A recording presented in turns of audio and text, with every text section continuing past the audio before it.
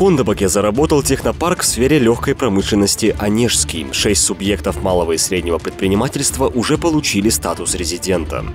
Полицейский из Беломорска выручил вылетевшего в кювет мурманчанина. Он помог поменять колеса, а позже на служебном автомобиле довез до поселка Сосновец, куда тот направлялся. По просьбе мужчины инспектор будет поощрен.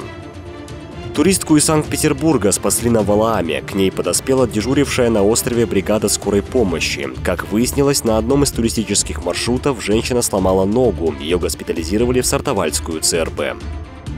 За три месяца в травмпункте Петрозаводска зафиксировали сотню пострадавших от укусов животных и птиц. Из-за кошек проблемы возникли у 58 человек, еще у 61 из-за собак. Также были случаи нападения домашнего сурка, летучей мыши, крыс, белок и чаек. Первые соревнования по летнему рыбатлону пройдут в Беломорске 3 августа. В отличие от зимнего турнира, это личное первенство, смесь рыбалки и бега. Приглашают всех желающих независимо от пола, возраста и рыболовно-беговых способностей. После соревнований участникам приготовят уху.